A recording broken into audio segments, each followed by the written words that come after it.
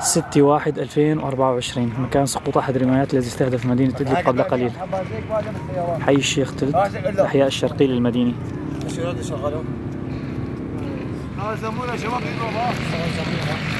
شلي يا عمي شلي.